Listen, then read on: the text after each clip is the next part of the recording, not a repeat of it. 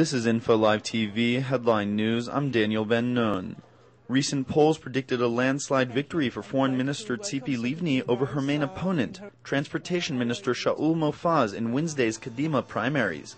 The poll conducted by Haaretz and Channel 10 two days before Kadima voters go to the ballot box predicted that Livni would win 47% of the vote and Mofaz would win 28%, while Interior Minister Meir Shitrit and Public Security Minister Avi Dichter would each win 6%. The family of abducted IDF soldier Gilad Shalit blasted the transfer of money from Israel to the Gaza Strip on Tuesday as tantamount to the funding of terror. Noam Shalit, the father of Gilad Shalit, said that not only is the state of Israel not applying pressure in order to release his kidnapped son, but it is also transferring money which could be used to finance terror attacks against Israeli citizens. Two weeks ago, Israel transferred millions of shekels of confiscated tax funds to a number of different organizations in the Gaza Strip.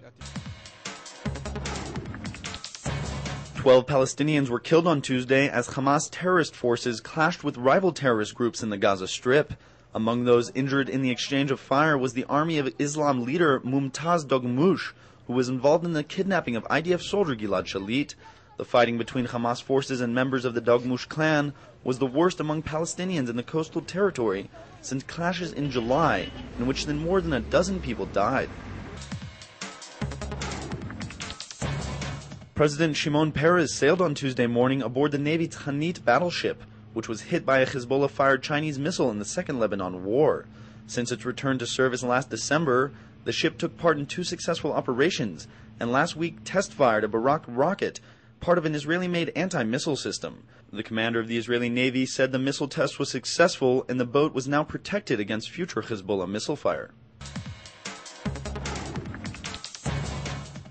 Stocks traded on the Tel Aviv Stock Exchange opened sharply lower on Tuesday, rocked by the collapse of Lehman Brothers and the worst share price losses on Wall Street since the September 11th attack seven years ago.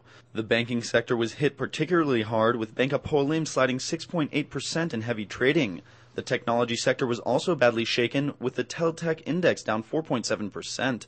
The US dollar also lost ground vis a vis the shekel, losing 1.4% to trade at 3.54 shekels.